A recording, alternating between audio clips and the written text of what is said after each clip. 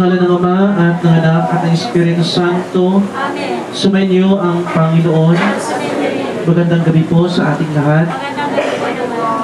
Mga kapatid, tayo po ngayon sa huling ah, gabi ni Kuya Jose. At sa ating ah, mga panalangin, sa ating banal na misa, tayo panalangin na siya ay ah, makarating doon sa lugar na kanyang inaasam kung siya ay buhay pa.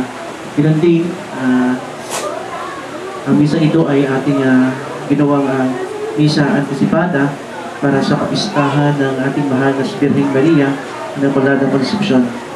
Mga kapatid, nabiling po natin ang ating mga kasalanan upang nabiling marapat kumanap sa banal na pagdiriwa.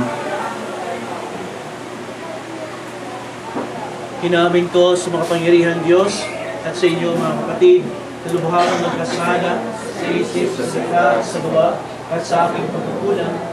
Kaya ay sinasama ko sa mga Birheng Maria sa lahat ng mga mga banal at sa inyo mga kapatid na may panalangin sa Panginoong ating Diyos.